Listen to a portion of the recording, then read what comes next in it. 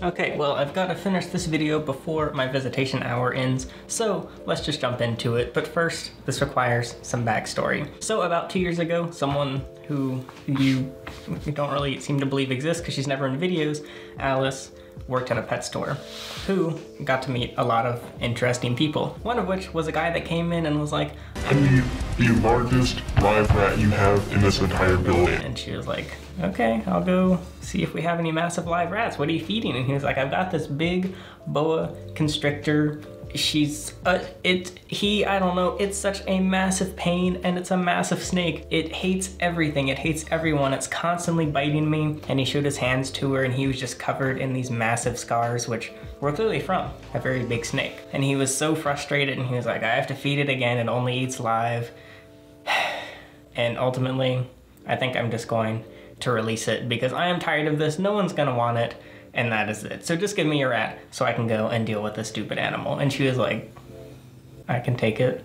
And he was like, oh, here's my address. And he gave her his address, which she went to, and it was in the middle of the mountains and a house that was basically suspended in the air, also known as a treehouse, but not like a kid's treehouse, like a literal treehouse. I didn't see it. I, it's not even on Google Maps because it's so remotely into the woods. And she didn't die. She wasn't killed or anything in the middle of the woods. But what am I saying? And personally, I've been on some kind of creepy reptile pickup. Sometimes they're super far into the woods, sometimes they can only meet at night. And I really shouldn't have been going to those places, but I made it out alive and she did as well. And so she went up into this literal tree house and found a 20 gallon with Aspen and this Dumeril's boa just hanging out in it. It was a, a big snake. And at this point, she had only ever handled snakes as large as ball pythons. And so at the moment he opened the enclosure to show her this stupid snake that he was about to release, she tried to bite him. She was striking and lashing out and very angry. I don't actually know if he ever got the live rat or not. He didn't feed her, she just had to go in and try and pick up this animal. So she couldn't exactly just throw the 20 gallon in her car and he probably wanted to keep the enclosure anyway for his next boa constrictor. So she had to reach into this enclosure and get it out so she could bring it home. And the animal didn't really react. It was, it was this animal, I don't know I'm talking about it like it's not here. So she had to reach in this enclosure to get it into a container and into the vehicle. If I was there, I would have probably just made him give me the 20 gallon because I don't feel like dealing with a very grumpy snake in someone else's house that is also in a tree, also known as a tree house. But she did, she reached into the snake and she didn't do anything. She didn't care. She flicked her tongue and the guy was like, oh, why is it not biting you? And she was like, I don't know but she's not. And so she got the snake out and took her home. Now, where she was living at the time, she couldn't actually keep this animal, and she knew me, so she was like, here you go, an emerald scales animal for you to sell on the site. And I was like, cool, I am finally getting something aside from a ball python, and this is hurting my back. I was excited because I liked Dumeril's boas, and at that point, I don't think I had ever gotten one. I had gotten some larger snakes, like boa constrictors. I didn't intend for this to happen. Yeah, basically just boa constrictor. So a Dumeril's boa was finally another large snake that um, I could experience and I didn't want to keep, really keep her personally, but she drove her over to me and she hung out at my rental home at the time where I had the Emerald Scales animals and she just hung out. But I actually quite liked her and I figured she'd probably stick around for a bit. Could do some videos on her, which I eventually did. And we named her, well, Alice named her um, Ivy. So this is Ivy, the Dumeril's boa. And for a temporary period of time, I owned a Dumeril's boa who was quite sweet, quite large, and fun to just hang out with when she's not trying to strangle you. But Alice started becoming attached to the boa as well, and she would have kept her had she had the space. But eventually, she did have the space and decided that she was gonna keep Ivy, and I was like, but I already have Ivy. I was gonna sell her, and after making videos. And I knew I was gonna get other snakes, so it wasn't really a massive deal. And we decided we would simply share custody of the boa constrictor, because why not? But then I ended up getting swarmed with animals around this time because this was about two years ago, and then I started making unboxing videos. And after that, that's when it went from a few inquiries to take animals to many few inquiries where it was like 50 to 60 people that want to send me a bunch of ball pythons each. And I was like, oh, but the Dumeril's boa is finally something that isn't a ball python. it's okay, at least she's around. But I got so caught up with all the other animals that I simply lost custody of this Dumeril's boa. And so I lost her. But not really, because we ended up living together, and now Ivy lives one room over. She's literally next to my office. So in the end, although I legally don't own the snake, and I can't sell her for profit, it's okay, because Ivy is still here. But I think it's a very interesting story regardless. She's had a very interesting past because like many animals, she's purchased by someone by a pet store. I might be wrong, but I think she was purchased from the pet store the guy went to to get the rat and he had her for a long time because it takes quite a while for a snake to grow this large. And she was actually a bit bigger than she is now because he would just throw in live rats. Very similar to a lot of other snakes that we've gotten, like Rosie, the boa constrictor, who I've done tons of videos on, and Ivy was basically the same, just from a whole separate place, separate owner, but an eerily similar story, which makes me believe that it's not rare with large snakes, especially not rare with smaller snakes that we do get in, that people get, and simply neglect. And Ivy is proof that you can actually really hurt an animal and yet they come out surprisingly okay, even if they're constantly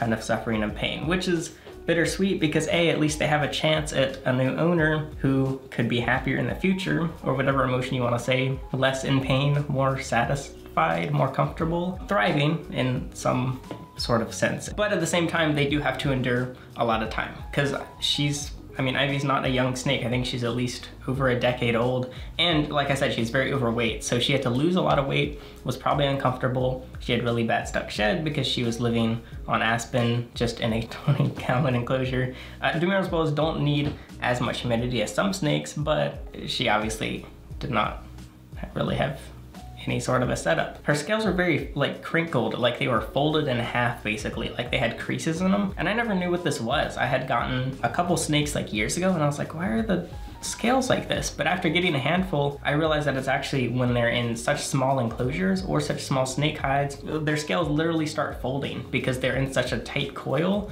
that what are, I mean, what are scales made of? Keratin. I knew that. I didn't know that. And so when they're in that position for so long, it literally leaves permanent creases in their body until it's fixed. So eventually she was put in a larger enclosure, uh, a four foot enclosure, and over time, the more she shed, the better the scales got because the scales slowly heal over time. She sheds off the old skin and they get a little bit better. So now, although she's still not the healthiest animal ever, one of the funnier parts is she has a lot of loose skin because even though they can lose weight, which is oftentimes a healthy thing for heavier animals, they don't exactly lose their skin very quickly. So although I think she has, her body's kind of adjusted very slowly and lost a little bit of that skin so that it tightens up, she still has some rolls from the loose skin. So it looks kind of silly, but it doesn't really bother her. Ivy has never been fed live here. She instantly started taking frozen, which is kind of nice. I don't really like feeding live unless I have to, especially the really large rats, because A, they're expensive, and B, it sucks for all parties involved. It's more risky for the animal, and the rat doesn't have the best time of its life.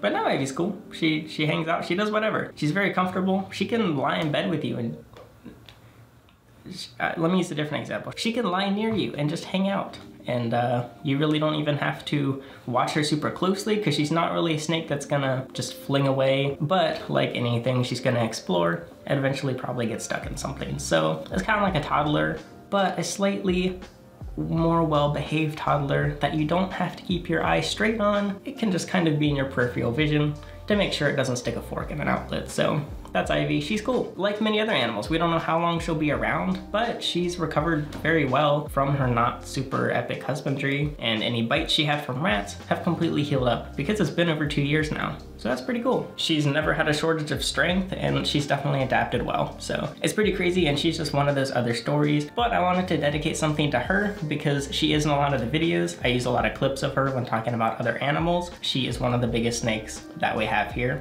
and an interesting example of the average husbandry of the average pet keeper who goes down to the pet store, buys a cute little snake, and then regrets it later down the road. If she had gotten released, I don't really know what, I mean, this was I mean, she was in a very cold climate because North Carolina does get pretty cold and the area she's in. It gets way below freezing but this was during the summer. So she actually probably would have been fine. He was living in the middle of the woods. If he had released her i'm sure she would have found food. She could have eaten squirrels rabbits if she could get one. Probably not because she's not that fast. Uh, rats mice pretty much anything in the area. So i think she actually would have lived like the entire summer assuming nobody found her and freaked out and caught her shot her killed her whatever because this big old copperhead is in there front yard. But when the wintertime came around, she would not be able to survive that because they can't really do that because they're cold-blooded. So that was Ivy who was kind of mine for a while, who eventually, yeah, I would have probably sold her on Emerald Scales and when you could have been hanging out with her, but no, she is hanging out here and I am now roommates with her instead of the custodian. That sounds weird too. And Ivy also showed me that there are still a few snakes that I think are quite cool. And I did another video on her uh, and just Dumerils in general of why I think they're the most underrated uh, pet snake species, so you can check that out, which also features a lot of clips of her. Uh, I've sold a couple on emerald scales that were a bit smaller, but I do think they're a lot more fun when they're this size, because although she kind of strangles me sometimes, it's not too bad. She can be easy and interesting to just chill with. Like a little puppy, not really. She's a lot easier than a puppy. I'd recommend her. But that's it for this video. I'm Alex, and thanks for watching. I can't get to the camera. Here we go, ending the video.